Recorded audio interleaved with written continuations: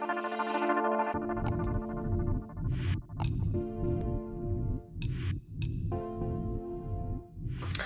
everyone, in today's video we're going to have a look at social, moral, moral and ethical issues. So this is a topic that's going to come up in paper 2, the hour and a half paper that you do.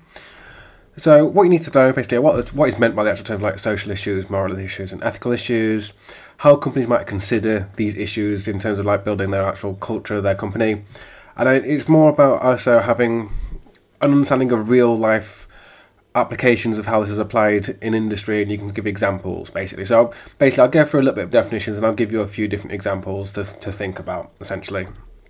So difference between social and moral and ethical issues. So social issues are typically to do with like the environment that, that we live in, health, poverty, so to do with like poverty, how like different affluent areas, discrimination things like race, gender, age, those sorts of things, and unemployment. Those are like social issues moral and ethical issues are a bit more difficult to sort of define because these are to do with like people's beliefs of what is right and wrong. So, like ethical issues being that you don't advertise like smoking nowadays, or you don't uh, promote violence in kids' cartoons, or um, understanding not to kill and not to steal, and all those sorts of things. Which obviously some of them sound quite obvious, like oh yeah, don't kill, duh. But um, obviously that's like an extreme example. Don't kill, by the way. Um, but yeah, so moral, moral and ethical issues are more to do with like rights and wrongs and that type of thing. So some companies are very good at it, are very, very aware of the responsibilities they have to maintain like balance within their, their issues. There's something called the corporate social responsibility, which is a scheme that's self-regulated, which companies basically they're given like a framework to work within to sort of show that they're meeting these responsibilities basically.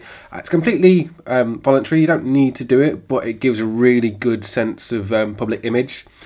Because um, as we've talked in other videos and other lessons, is yes, companies care about like profits and those sort of things, but also companies need to care about their public image, because otherwise, if you've got a poor public image, um, and a bad reputation, you're not going to get that many sales. We've talked about it before. Some companies were really bad. There was that one clothing brand that just the guy came out and said, "I don't make clothes for fat people. Who cares about fat people?" And at which point their stocks just tanked immediately. So a couple of examples that are really really good are Lego and WWF, and that's not wrestling. Um, that is the World Wildlife Foundation. So Lego, um, I've set a target of having 100% renewable energy um, by the time they get to 2030, and they're basically trying to get rid of using um, oil to, to kind of up with a more sustainable raw material to replace crude oil by 2030. Disney also have quite a good reputation because they encourage workers to do charity work and provide quite a lot of support for natural disaster situations around the world. So they send relief and all sorts to do around the world. So, a couple of examples, but there are loads and loads of other examples of companies that do really, really good, positive things. But those are three. I mean, Lego, Disney, and are probably two of the big. Well, Disney is one of the biggest companies in the world at this point. They own half of everything. Um, okay, so the military. A little bit of a weird topic to bring up because you're either hit or miss with this. Some people are very anti-military, some people are very pro-military. It's not so much in this country necessarily. There are certain countries that are like very, very pro or very, very anti-military. I won't mention any names. um, but they're often criticised because they have quite a negative effect on the environment. Because essentially, what will happen in a war zone or whatever, they'll go over, they'll set up base, they'll do whatever they do, and they'll leave again. And it's it's almost like you watch like the Marvel movies or you watch like Team America where they simply turn up, blow everything up, go, oh, we've saved the day, and they bugger off again. And they've actually left the land in quite a bad state. Um, so that's why they tend to get bad, apart from the death of everyone as well. But they do tend to ravage the land quite a lot. However, because the military exists, there's been a lot of development technology that has aided us massively in our day to day life. So without the military, we wouldn't have things like radar, the EpiPen. So anyone that's got any severe allergies like peanuts, that sort thing, without an EpiPen, without the military, you wouldn't have lived very long at all. GPS on your phones, penicillin, drones. If anyone's got a drone they play with at home, jet engines, nylon, synthetic material. Okay, so the there are a lot of benefits to come out of the military as well. So the moral of that story is obviously you can't aim to please everyone all the time, particularly in this sort of woke PC culture that we live in now. Is if you stand for anything, you're going to offend someone. So you can't try and please everyone. Yes, the military do some bad things, okay, but also they do quite a lot of positives that have helped develop mankind. As cheesy as that sounds, but they've they've been quite a driving factor in what's moved humanity forwards. So, sustainable materials and ethical production methods. So, obviously, at the moment, we still rely quite heavily on finite materials, so your fossil fuels, your coils, oils, and your gases. We do, I say we, like I'm involved in it in any way, shape, or form, but companies are looking at more sustainable sources. So, obviously, when you see like timber based materials, so you see the FSC logo, the Forest Stewardship Council, that says it's been sourced in a, a sustainable way. So, obviously, they cut down trees to make sure they plant more. Metal production is one that's considered very bad for the environment. Obviously, we don't do a lot of metal production in the UK because um, we don't have a lot of the ores. But the fact is, you have to extract the ores, which requires a huge amount of mining, and it does a lot of damage to the landscape. So you end up with like these huge mines. And they can also become quite dangerous because they can collapse, which can result in things like towns um, being like essentially like um, a landslide or floods um, that actually kill loads of people. So there's been incidents where in Brazil in 2015 there was an old abandoned uh, mine that resulted in a, a, dam bursting and pretty much flooded an entire town and killed uh, pretty much everyone in it. Um, at the time, there was accused of being basically the reason that happened was that safety standards weren't met because honestly, the companies I can't remember which com- uh, what country the um, company was from, but it was a first world country, and obviously Brazil standards probably not quite as high as others, and they thought, oh no, do it on the cheap. That resulted in deaths. Uh, and that's quite honestly that's quite a big story that goes along. It's a lot of basically bigger com- countries in more financially better off com- uh, countries going to poorer countries that they can take advantage of and essentially killing a bunch of people. Um, we do have other more sustainable materials. So anyone that's into like 3D printing now, the most common material you get is PLA, which is polylactic acid, which is starch based. So it's no longer actually an oil based plastic, which is becoming incredibly popular at this point. And because last video I was very nice to Apple, I feel better now because I managed to get a bit of bad Apple in there. Um, so conditions for workers. Some companies get a very bad reputation for the work, uh, the um, state their employees live under. Um, obviously, as I've just said before, for the most part, it's companies in richer countries that essentially outsource all their manufacturing to other companies, other countries rather, where they can get cheap labour. Apple actually, in this instance, this is one of the reasons why I actually dislike Apple quite a bit, have got a terrible reputation for this because they have a factory in China where it had an absolutely insane um, mortality rate because workers were committing suicide, and the fact they had to put nets all along each floor to stop people from trying to jump off and kill themselves because the conditions they were paid so little and they had to live in the factories and had such nasty working conditions. So obviously when this gets out, I mean, Apple are still one of the basic biggest companies in the world, but it hit their stocks for quite some time. And again, not just a hit on Apple, as much as I do dislike Apple. Um, don't know if I've mentioned it before. Um, there are companies that do this as well. They're not the only one, of course. They're not. Um, essentially, any any company that's just all about the profits, obviously they outsource it to cheaper places, and that's how you get it.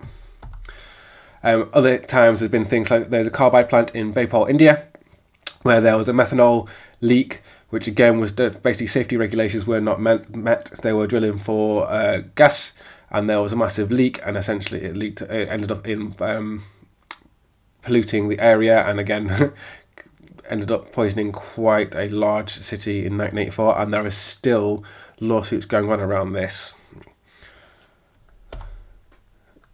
Okay, so culturally acceptable and non-offensive products. So in the marketing videos, we talked about why companies, obviously, if they want to be global, you have to go into other company, other country, excuse me, other countries, and sort of tweak your product slightly to be suitable to each country, depending on where it is. It could be religious beliefs, it could be all sorts of reasons.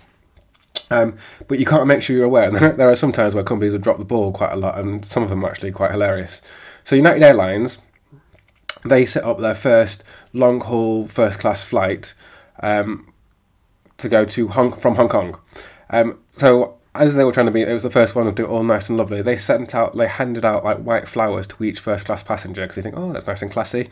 In Hong, Hong Kong, though, white symbolises death and bad luck.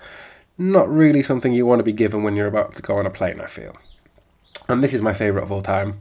Um, I, have mentioned this multiple times. There's a sporting brand that's very popular in Australia and India, um, like very very popular, and this word means something very different in other countries. And they tried to launch that same product in the UK. Um, the brand is called Spunk, and turns out people in the UK don't want the word spunk written across their T-shirt. I cannot imagine why.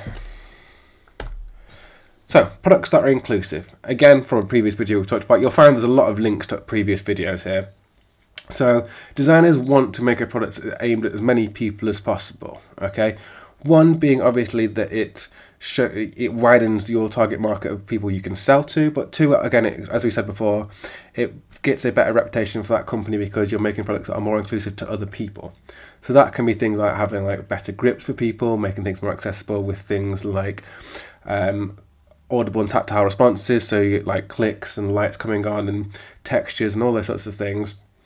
For more information on this, please do have a look at the human factors video. We go about that in a lot more depth, but a very, very good point about making things to be as inclusive as possible. So designing to help with social problems. So again, we talked about this, could be more about that, where you live, the income you have, that sort of thing. So things like, most common things would be things like litter. So obviously certain town centres litter is horrendous. So how can you sort of encourage people to do litter? You see nowadays, you see a lot of um, like pieces where people put cigarette ends, and it tends to be like a little, little vote, or who's the best footballer? Put your bin, your thing in the bin. Here for Messi, or here for Ronaldo, or here for, for whoever. Trying to just encourage people to recycle uh, bin a bit, a lot more. Um, also, not to scare anyone, because I'm aware that a lot of you are all starting to learn to drive. The most common deaths by driving happen when you are a lot younger, because obviously you've not been driving as long susceptible to peer, pressure for speeding a lot more.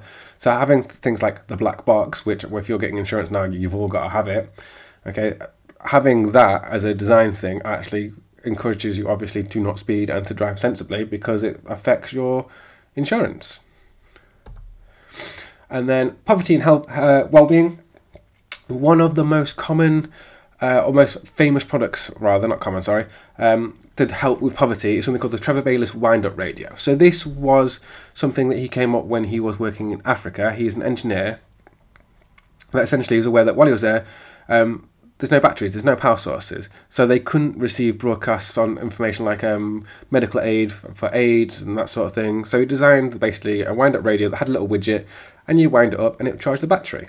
So it required no batteries whatsoever it was just a wind up radio.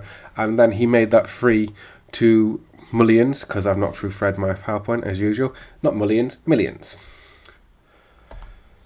And then there's a few other ones. So basically, I'm going to go through examples here. I won't read through all of them, but I'll leave them on the screen so you can have a little look through. So crowdfunding of uh, certain projects like the gravity light. So the idea being that what you can do is you can pull the light up to the very top, and then as you release it, it pulls the light down and it charges the light up. So this is aimed in like in Kenya. So rather than having like a kerosene um, lamp, which was causing a lot of fires and houses getting burnt down because it's in, obviously kerosene is a very very flammable liquid. Um, you've now just got a chargeable light on the um, the cord. Can't think of the word cord there. You then also got a few other like design companies. So Yanko Design is quite a big design um, magazine and website where they're looking at like harvesting things like rainwater and homeless shelters and that sort of thing. Again, these are just sort of examples. You don't necessarily need to know these exact examples, but I'm going to show you a few examples that you might um, be aware of or bring up in exams. Then you've got things like 3D printing in medical care. So what you can do, obviously, if someone has had um, a limb difference, so if they are born with anything, um, with any limb difference, you can obviously get prosthetics custom made at this point because it used to be back in the day um, obviously, because technology has gotten so more advanced in the past, you just have like a small, medium, and large. And if you happen to be like a small child and you oh, you've only got a medium, and you end up with this giant prosthetic arm, doesn't really work. We've also got obviously people that have had injuries, so like car crashes, military accidents. You can actually have like schools um, rebuilt and that type of thing nowadays, if anyone knows anyone that's had like hip replacements, knee replacements, rather than having a stock sized one, they can actually scan your body and get a proper custom made sized hip or an, an elbow or a shoulder or anything like that. You've then got things like MRI scans, CT scans, all these sorts of things have happened because of technology and how they've improved the quality of life. Um, artificial organs, this is one thing there's always been a big old push for. Obviously, trying to help, obviously, particularly if you need like organ donor waiting lists there has been introduction of stem cells, which is quite a controversial one, particularly if you are someone from a more religious background, because obviously stem cells are, and I'm trying to remember the exact term, unborn fetuses or undeveloped fetuses, where essentially it's a blank cell, whereas if you put that blank cell next to a current healthy cell, it will duplicate. So the theory being behind this, so um, my dad, um, when he was alive, he had quite bad knees. So when he had his first knee injury, they removed all the cartilage and then they suddenly decided that wasn't the right thing to do.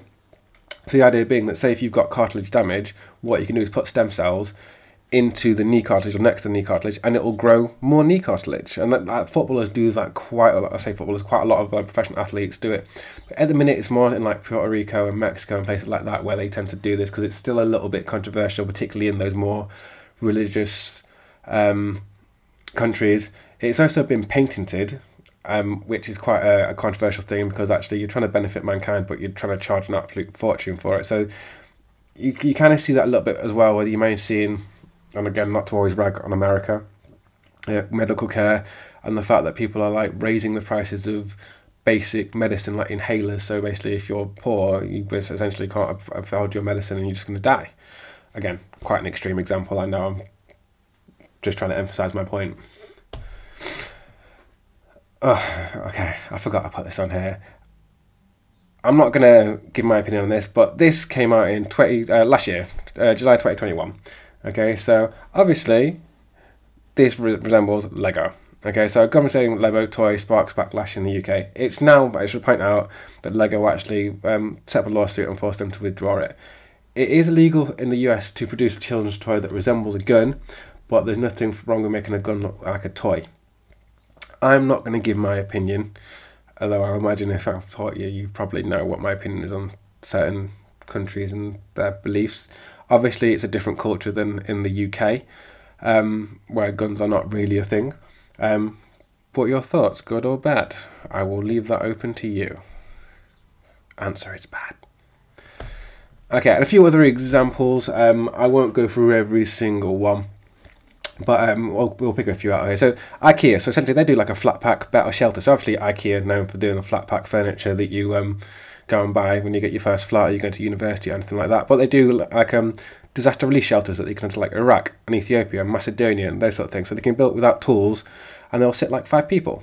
So just a, a company that does normal day-to-day trading, obviously helping with disaster relief. Uh, you've got medical care, so the UN, they provide things like hospitainers and maternitainers, which essentially are um, massive containers, that essentially shipping containers that are just a bit, the interior has been adapted to have like medical care in them. Um, fair trade, hopefully we all know about fair trade, so the idea being that trying to protect um, producers, farmers, to ensure they're getting fair prices from supermarkets, so they're not getting undersold, so they can't afford to feed their family and that type of thing.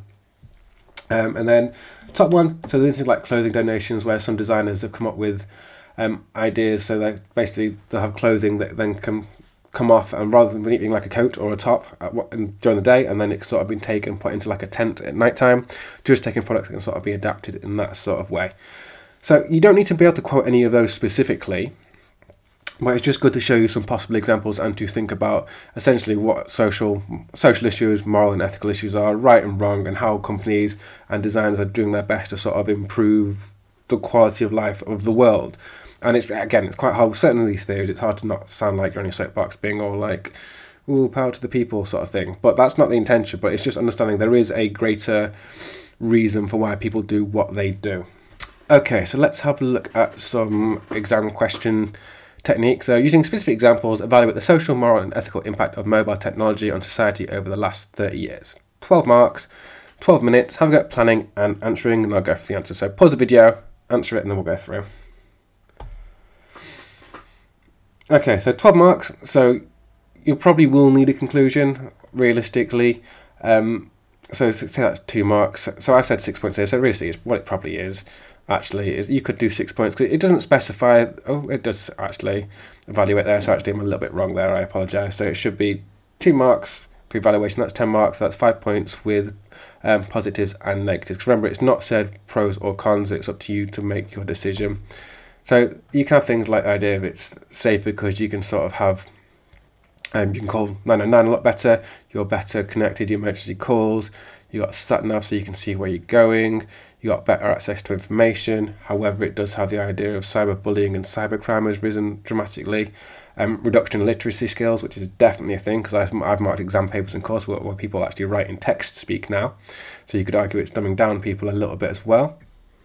Um, there's obviously the idea um, stalking gets a lot more as well. Um, there are suggestions that um, laptops, particularly if you're sitting it on your lap when you're using it, can damage male fertility and that type of thing. Um, it records your information like what it does. It can um, reduce your mental health a little bit if someone's like into your exercise and you've got like tracking apps and you go, oh, I've only burnt 300 calories or, or I've overeaten on this. So there's loads and loads of possible answers you can go with. I really like this as a question personally because there's so many factors you can talk about. I'm after pros and cons because obviously mobile technology is fantastic, but there are other drawbacks to it as well. That because you're of the generation now, and again, make me sound old, like mobile technology. I had a Nokia 3510 when I was in year nine. Okay, back when we had AOL dial-up broadband, back in my day. Um, but um, you've grown up with it, so I'm assuming when when you got your first phone at probably like 11 or 12 ish, it was probably a smartphone to begin with that already had the internet. So you've grown up with it all the way through. So I'll be interested to see if you can come up with the, the negatives as well as just the positives. Okay, next one discuss the social, moral, ethical issues facing product designers today. Same sort of thing. Again, they haven't mentioned a conclusion. I said you could put a conclusion, but it hasn't specifically said a conclusion. Um, so six points for the explanation. Potentially, you could say just remember as well that you get you can't get the same marks twice. If you bring up a point, discuss it, and then move on to a different point again. So pause the video, have a go answering, and we'll look at the answers. Okay, so loads of possible things we've looked at. So things about using like child labour, safe working conditions, understand the impact of manufacturing or disposal of your product, uh, sourcing materials without damaging the environment, using sustainable materials, um, not encouraging people to just like single use throw away products, not damaging wildlife and the environment, um, sustainable energy being used, designing for inclusivity, safety legislation. There are loads and loads of possible ones that you could have. Okay, that is the end of social, moral, ethical issues. Hopefully you found that useful. Any questions, please let me know.